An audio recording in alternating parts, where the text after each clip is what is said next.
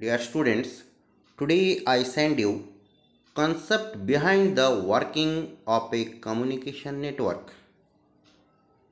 Communication network.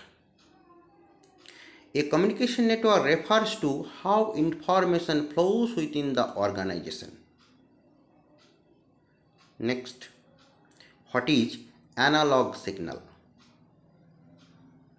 Any signal that changes in continuous manner within time with time is called an analog signal.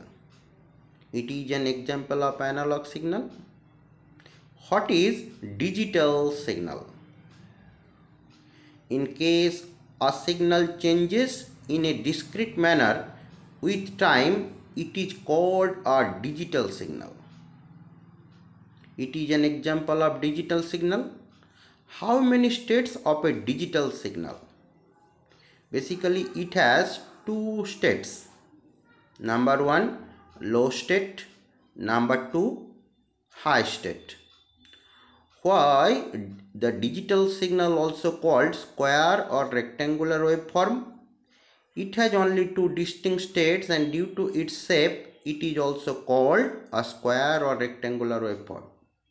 What is signal attenuation during data communication from the source to destination due to loss in energy signal may get reduced in strength. This is called signal attenuation.